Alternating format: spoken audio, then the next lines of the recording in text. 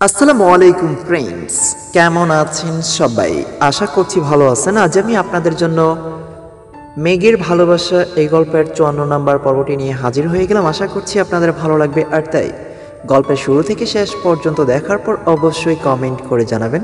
গল্পটা কেমন লেগেছে? যদি ভালো লেগে থাকে, একটি লাইক দিতে ভুলবেন না। আর যারা আমাদের চ্যানেলটি এখন পর্যন্ত সাবস্ক্রাইব করেননি, অবশ্যই সাবস্ক্রাইব করে দিবেন। আপনি যদি ভালোবাসার গল্প করতে চান আমি আপনাদের জন্য সব সময় চেষ্টা করি বাছাই করা সব ভালোবাসার গল্পগুলো নিয়ে হাজির হতে। আপনাদের যদি সামান্যতম ভালো লাগে, তবেই সেই চেষ্টাটা আমার সফল হয়। তো আপনি যদি আমাদের চ্যানেলটি সাবস্ক্রাইব না করে থাকেন, তাহলে অবশ্যই দেরি না করে চ্যানেলটি এখনই সাবস্ক্রাইব করে পাশের বেল আইকনে ক্লিক করে রাখবেন। যারা সাবস্ক্রাইব করে ফারুক ডায়েরির সাথে আছেন, তাদের সকলকে জানাই অসংখ্য ধন্যবাদ। আশা করব সব সময় ফারুক ডায়েরির সাথেই থাকবেন। তো চলুন ফালতু বকবকানি বাদ দিয়ে সরাসরি গল্পে চলে যায়। বৃষ্টি ডিএমসিতে চান্স পেয়েছে। এ নিয়ে বাড়িতে খুশিতে মেতে উঠেছে সব। মেঘার নামসাকে জানাতে ভুলেনি সে। বাবা মাকে জানানোর পরেই তাদের কল করে জানিয়েছে। অতঃপর আকাশকে জানিয়েছে। আকাশ ভিডিও কলে কথা বলতে চাইলে বৃষ্টির ছাদে চলে এলো। বেশ কিছুক্ষণ কথা বলো দুজন।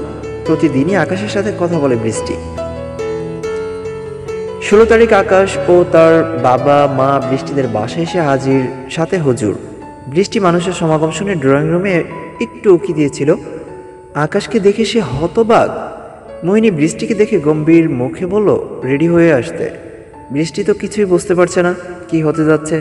বৃষ্টি নতুন জামা পরে অতিরিক্ত কোনো সাজসজ্জা ছাড়াই সেজেছে। মোহিনী নিজেই তাদের সামনে নিয়ে গেছে। রায়হান চৌধুরী আকাশের বাবা মায়ের সাথে এমনভাবে কথা বলছে যেন তারা পূর্ব পরিচিত। পরিবেশটা আগোছালো মনে হচ্ছে বৃষ্টির কাছে। তার মনের ভিতর ঢিপ ঢিপ শব্দ হচ্ছে। আকাশ এখানে আসবে, তা নিয়ে তাকে কিছুই বলল না কেন? তারা কি বিয়ের প্রস্তাব নিয়ে এসেছে? তার মাথায় নানান চিন্তা আর এদিকে আকাশের মুখে হাসি। আকাশের মা উঠে বৃষ্টির কাছে নিয়ে বসালো। ওনারা জানালো ওনাদের পছন্দ হয়েছে। রায়হান চৌধুরী বৃষ্টিকে জিজ্ঞাসা করল, বৃষ্টি, আকাশকে চিনো? বৃষ্টি একবার তার বাবার দিকে তাকাচ্ছে আর একবার আকাশের দিকে। রায়হান চৌধুরী আবার বলল, তোমার ভাই তো বিয়ে শেষে চিঠি লিখেছিল। তুমিও কি চিঠি লেখার চিন্তা করছ নাকি তার আগে দরখাস্ত লিখবে? বাবার মুখে এমন কথা শুনে বৃষ্টি হতবাক। তার মানে কি? বাবা কি তার আকাশ সম্পর্কে সবটা জানে? তিনি আবার বললেন, আমি কখনো জঙ্গলি দেখিনি। আর তুমি তাদের সাথে সাক্ষাৎ করে এসেছ। ভাবতেই তো আমার গলা শুকিয়ে আসছে। বৃষ্টি চরম পর্যায়ে অবাক হয়ে আকাশের দিকে তাকালো। এসব তার বাবা জানবে কীভাবে? সে নিশ্চিত, আকাশ সব বলে দিয়েছে। সেটা আকাশের মুখে লেগে থাকা মৃদু হাসি বলে দিচ্ছে। এ কোন মহা ঝামেলা ফেলল আকাশ তাকে? এটাই কি ছিল তার সারপ্রাইজ? রায়হান চৌধুরী মোহিনীকে বলল, মোহিনী, তোমার মেয়েকে পানি দেওয়া গ্লাস। তোমার স্ট্রং মেয়ে আজ বিড়াল হয়ে গেছে। বৃষ্টি এতক্ষণে মুখ খুলল। লাগবে না পানি। বৃষ্টির বাবা বলল আচ্ছা তাহলে বলো আকাশকে তুমি চেনো? বৃষ্টি মাথা নিচু করে বলল, বাবা, সিলেটে জঙ্গলে হারিয়ে গিয়েছিলাম আমি, সেখানেই তাদের সাথে দেখা। বৃষ্টির বাবা বলল, জঙ্গলে হারিয়েছিলে নাকি পানিতে? বৃষ্টি বলল, ওই একই কথা হলো না, পানির স্রোতে ডুবে গেছি, সেখান থেকে জঙ্গলের ধারে উদ্ধার। বৃষ্টির বাবা বলল বিয়ে সাহেব, ছোট্টবেলার কবিতা বানিয়েছিলাম, নদীতে দড়িতে গিয়েছি মাছ, নাহি পেয়েছি তাহা। কিন্তু পেয়েছি মৎস্যকন্যা। তুলে নিয়েছি মোর ঘুরে ঘুরে, বেঁধেছি স্বপ্ন, বেঁধেছি আশা, আর ডেকেছি নিজের সর্বনাশ। হুট করে মোহিনী বলে ফেলল, কি গো, এটা কি কবিতা ছিল নাকি বাস্তব? এই কবিতা তো আমায় কখনো শোনাওনি তুমি? আকাশের বাবা মা হেসে উঠল, আর বৃষ্টি মনে মনে বলল, এই হচ্ছে আমার স্পেশাল বাবা মায়ের কীর্তি। মেহমান বসিয়ে রেখে তাদের রসিকতা ফুরায় না। রায়হান চৌধুরী বলল এই হয়েছে। এই বয়সে আমার উপর সন্দেহ করবে তুমি? আকাশের বাবা বলল, বিআই সাহেব, এবার কাজের কথায় আসি। বৃষ্টি, তোমার বাবা মা সহ আমরা অনেক আগে থেকেই জানি তোমাদের পরিচয়ের ঘটনা। আকাশ তো এক পায়ে দাঁড়িয়ে, কিন্তু তোমার কি আকাশকে ভালো লাগে? আকাশের সাথে বিয়েতে কি তুমি রাজি আছো? বৃষ্টির মুখ থেকে কখনো কোনো কথাই বের হচ্ছে না। কোনো পূর্বাভাস ছিল না। হঠাৎ করেই এই কোন পরিস্থিতিতে পড়ল সে? সে একবার মায়ের দিকে তাকালো, পরক্ষণে আবার বাবার দিকে তাকালো। রায়হান চৌধুরী বলল, এত নার্ভাস কেন, আম্মা? তোমাদের ছোট্ট থেকেই চেয়েছি যাতে তোমরা স্বাধীনভাবে চলতে পারো। তোমার মা শাসনে রাখতে চেয়েছে, আমি তা হতে দেইনি। শাসনে রাখলে তো আমি আমার সন্তানদের মন জানতে পারব না। ইচ্ছে থাকা সত্ত্বেও তোমরা আমাকে কিছুই জানাতে পারবে না। আমার কাছে কোনো আবদারও করবে না। অন্যথায় তোমাদের ইচ্ছে পূরণে ব্যর্থ হব। পৃথিবীর সকল পিতামাতাই চায় তাদের সন্তান ভালো থাকুক, সুখে থাকুক। তোমাদের সুখে আমার, আমরা বাবা মায়ের সুখী। আমার সকল প্রচেষ্টা তোমাদের ঘিরেই। পরবর্তী প্রজন্মে তোমাদের প্রচেষ্টাও হবে তোমাদের সন্তানের জন্য। এটাই প্রকৃতির নিয়ম। চাইলেও অবহেলা করা যাবে না। জীবন তোমার, সিদ্ধান্ত তোমার। এবার বলো তো, আকাশকে তোমার পছন্দ হয় কি না তোমার মতামত ছাড়া কোনো মতামত আমরা দিতে পারছি না। বাবার কথাগুলো শুনে বৃষ্টির মনে বইছে সুখের বাতাস, আর চোখে বইছে অস্ত্রধারা শুধু আজ নয়, সবসময় তার কাছে মনে হয় সে পৃথিবীর সবচেয়ে বেশি ভাগ্যবতী, কেননা তার কাছে এমন বাবা মা আছে। নিচু স্বরে বৃষ্টি জবাব দিল, বাবা, তোমাদের সিদ্ধান্তে আমি একমত। তোমরা সর্বদা আমাকে, আমাদের সাপোর্ট করে এসছো। আদর, স্নেহ, মমতা সহ উপযুক্ত শিক্ষা দান করেছ। বাবা মা সবার কাছেই আছে, কিন্তু তোমাদের মতো এমন বাবা মা কারও কাছে নেই। তোমাদের মেয়ে সর্বদা তোমাদের বাধ্য। সিদ্ধান্ত সবটা তোমাদের হাতে। বৃষ্টির বাবা বলল, এখন আমি যদি আকাশকে পছন্দ না করে তোমার জন্য অন্য কাউকে পছন্দ করি? বৃষ্টি বাবার মুখে তাকিয়ে মুচকি এসে বলল, তবু আমি তোমাদের সিদ্ধান্তেই রাজি। কখনো এর কারণও জিজ্ঞাসা করব না। তখনও বলব, আমার বাবা মায়ের সিদ্ধান্তই শ্রেষ্ঠ। রায়হান চৌধুরী এবার মৃদু হেসে বলল, মোহিনী, এবার তোমার সুযোগ, বলো কি বলবে? বৃষ্টির মা বলল, আমার কিছুই বলার নাই, শুধু আমি আমার মেয়েকে সুখী দেখতে চাই। সিদ্ধান্ত তুমিই নেবে। হেরফের হলে তোমার খবর নিয়ে ছাড়ব। বৃষ্টির বাবা বলল, চাইলাম মতামত আর দিলে ধমকি। আচ্ছা মেনে নিলাম তোমার কথা। বিয়ে সাহেব, তাহলে পাকাপাকি হয়ে থাকুক। ইনশাল্লাহ মেয়ের মেডিকেল কোর্স কমপ্লিট হলে আপনাদের বাড়ির বউ করে নিয়ে যাবেন। আকাশের বাবা বলল, আমরা আজই আমাদের বাড়ির বউ নিয়ে যাব, বিয়াই। বৃষ্টির পরিবার সবাই অবাক। বাইরে রায়হান চৌধুরী বলল, তা হয় না বিয়াই, আমি কিন্তু আগেই বলেছি আপনাকে, আমার মেয়ের পড়াশোনা শেষ না হওয়া পর্যন্ত শ্বশুরবাড়ি পাঠাবো না।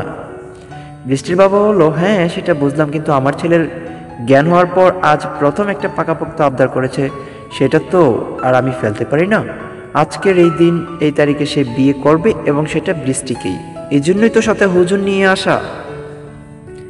বৃষ্টির বাবা বলল, বিয়ে সাহেব, বৃষ্টির বয়স এখনও পরিপূর্ণ হয়নি। ওদের ইচ্ছাতে আপনারা আংটি পরিয়ে রাখতে পারেন, কিন্তু আজ বিয়ে সম্ভব না। এভাবে বললেই কি হয়? সব কিছুর একটা প্রস্তুতি দরকার। কোর্স শেষ হলে আমরা আনুষ্ঠানিকভাবে ওদের বিয়ে দেব। আকাশের মা বললেন, আকাশ, ওনারা কিন্তু ঠিক বলেছে। বৃষ্টির পরিপূর্ণ বয়স হয়নি এখনও। তাছাড়া ওর কেরিয়ার গঠন বাকি। আমরা এঙ্গেজমেন্ট করিয়ে রাখি। আকাশ বলল না আম্মু, আমি আজ বিয়ে করব। বিয়ে না করে বাসায় যাব না। এটাই আমার শেষ কথা। রায়হান চৌধুরী হেসে বলল, তাহলে তুমি আজ থাকো আমাদের বাড়িতে? আকাশ বলল সরি আঙ্কেল আমি আজ বিয়ে করেই বাসে যাব। আপনারা আমাদের বিয়ে না দিতে চাইলে প্রয়োজনে কাজী অফিসে গিয়ে বিয়ে করব। তবুও বিয়ে আজই হবে। বৃষ্টি হতবাক হয়ে তাকিয়েছে আকাশের দিকে। এমন চাউনি দিকে আকাশ বলল, বৃষ্টি? তুমি কি এখন আমাকে পাগল মনে করছ? যাই মনে করো, বিয়ে কিন্তু আজই করব। আর বউ বাসায় নিয়ে যাব। আকাশের মা একটু ধমকে সরে বলল, আকাশ, তুমি তো সত্যিই পাগল হয়ে গেছো। ওনারা বলছে আজ বিয়ে দিবে না, আর তুমি বলছো তাদের উপেক্ষা করে কাজী অফিসে কি বিয়ে করবে? আকাশ বলল, আম্মু, আমি কিন্তু বাসা থেকে আগেই বলে এসেছি তোমাদের, আমি আজই বিয়ে করব। আঙ্কেল, আমি আপনাকে কথা দিচ্ছি। বৃষ্টির সম্পূর্ণ কোর্স শেষ করার দায়িত্ব আমার। আমার কাছে থাকলে ওর পড়াশোনা বেশি ভালো হবে সেটা আপনি গ্যারান্টি স্বরূপ ভেবে নিতে পারেন। এবং বিয়ে না হলে বৃষ্টির পড়াশোনা আরও ক্ষতি হবে, কেননা ও প্রায়ই চাইবে এখানে সেখানে বেড়াতে যাওয়া, পড়াশোনা একটু ফাঁকি দিয়ে আমার সাথে দেখা করা। এর আগেও যেভাবে, এভাবে কতবার দেখা করেছে সেটা কিন্তু আপনার অজানা নয়। আমার সাথে রাগারাগি করেও নিজেকে কষ্ট দিয়েছে। ভবিষ্যতে যে এমন কিছু করবে না, সেটার কিন্তু কোনো গ্যারান্টি নেই। আর আপনি দমিয়ে রাখতে পারবেন না। এবং হয়তো সেটা চাইবেও না। আঙ্কেল, বয়সটা খুব আবেগের। সময়টা আপনিও পার করে এসেছেন। সুতরাং এ সম্পর্কে আপনি অজ্ঞাত নন। রায়হান চৌধুরী বলল, ঠিক আছে। তোমার কথায় ভরসা নিয়ে আমি বৃষ্টিকে বিয়ে দিতে রাজি। দু এক সপ্তাহ বাদে আনুষ্ঠানিকভাবে বিয়ে হবে। কি বলেন বিয়াই আকাশের বাবা বলল, ঠিক আছে। বৃষ্টির বাবা বলল, এবার ঠিক আছে তো আকাশ? আকাশ বলল, না, আঙ্কেল। আপনি আনুষ্ঠানিকভাবে না হয় আগামী দু এক সপ্তাহ বাদে আয়োজন করুন, কিন্তু গর্বভাবে হলেও আজই বিয়ে করব। আকাশের কথা শুনে সবাই হতবাক। বৃষ্টির মুখে তো বলি নেই, যে যাই বলছে, আকাশ বলছে আজকেই বিয়ে করবে। হুজুর সেই নিয়ে এসছে। অবশেষে ধার্মিকভাবেই তাদের আজই বিয়ে সম্পন্ন হয়েছে, কিন্তু বউ বাসায় নিবে আনুষ্ঠানিকভাবে। এখন উপস্থিত শুধু দুই পরিবার, আর ওদিকে ম্যাককে জানিয়ে দেওয়া হয়েছে, কল করে। গম্ভীর হলে হয়েও সবাই হাসি খুশি ভাব ভঙ্গি প্রকাশ করল। দুপুরের খাওয়া দাওয়া শেষ হলো রায়হান চৌধুরীর বাড়িতে। বৃষ্টি তার রুমের জানালার পাশে দাঁড়িয়ে আছে। আকাশ কাশি দিয়ে রুমে প্রবেশ করল। বৃষ্টি ঘুরে দেখল আকাশ এসেছে তার রুমে। স্যুটকোট পরে একেবারে পরিপাটি সাজ, যেন বিয়ের পর বেড়াতে এসেছে শ্বশুরবাড়ি। অথচ আজ কিছুক্ষণ আগে তাদের বিয়ে হয়েছে, যেটা কল্পনার বাইরে ছিল।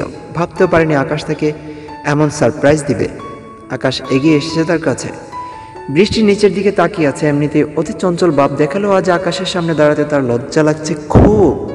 আকাশ তার থেকে এক ফুট দূরে প্যান্টের পকেটে দুই হাত রেখে দাঁড়িয়ে বলল, বলেছিলাম না, ষোলো তারিখ সারপ্রাইজ দিব? এখন বলো কেমন সারপ্রাইজ দিলাম মাই ডিয়ার ওয়াইফি বৃষ্টি তার দৃষ্টির নিচের দিকে রেখে কিছুক্ষণ আগে পরিয়ে দিয়ে আংটিটা আঙুলে ঘুরোচ্ছে। আকাশের কথা লজ্জাময়ী হাসি দিয়ে বলল, আপনি একটা পাগল।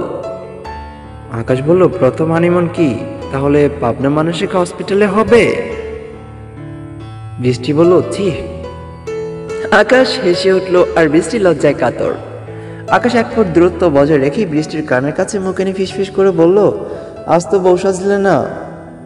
But after next week would be make real bright Mrs আকাশ বৃষ্টির মুখে হাসি আরও প্রশস্ত হয়ে উঠল। কথাটা বলা শেষ হতে হঠাৎই আকাশ বৃষ্টির গালে আলতো চুমু এঁকে দিল এবং সোজা হয়ে দাঁড়াল। বৃষ্টি চলচল চোখে তাকিয়ে আছে আকাশের দিকে আর আকাশের মুখে হাসির জিলিক সে বলল, আগামী দুই সপ্তাহ আমাকে কোনোভাবেই খুঁজবে না।